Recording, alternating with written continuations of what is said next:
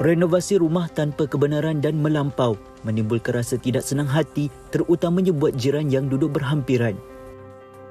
Hal ini bukan sahaja menyalahi undang-undang, malah berisiko menjejaskan keselamatan penghuni rumah lain.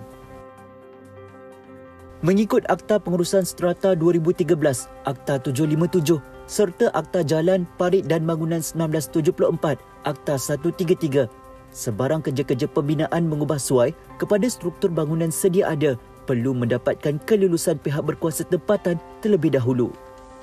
Walaupun undang-undang telah ditetapkan, namun masih ada lagi yang degil melanggar peraturan demi kepentingan diri sendiri.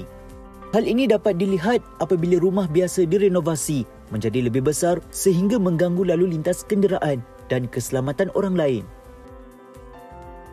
Manakala rumah yang berstatus kondo, flat dan apartmen pula terikat dengan Akta Pengurusan Strata 2013-757 di mana lot petak hanya terhad kepada keluasan petak yang dibeli sahaja. Baru-baru ini tular di mana kebanyakan pangsapuri di ibu negara mengubah suai struktur asal bangunan dengan menambah dan membesarkan rumah mereka tanpa mendapat sebarang kelulusan dari majlis tempatan. Hal ini membuatkan jiran di sekitar rasa tidak selesa dan tertekan kerana kemungkinan struktur bangunan tersebut menjadi tidak selamat kerana pengubah suaian itu tidak mengikut spesifikasi yang ditetapkan. Kita tak boleh selfish. Kita kena sedar diri sikap bertimbang rasa tu penting. Walaupun kita rumah tu rumah kita beli kita dah duduk situ lama orang-orang kawasan kejiranan tu kenal kita.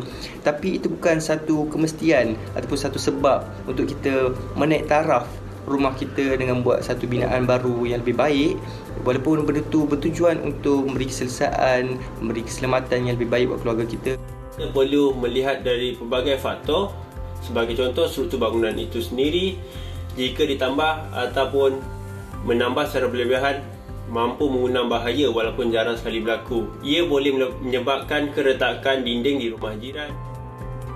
Walaupun rumah yang kita diami itu milik kita, kepekaan terhadap orang sekeliling penting bagi menjamin keharmonian dan keselamatan kejiranan.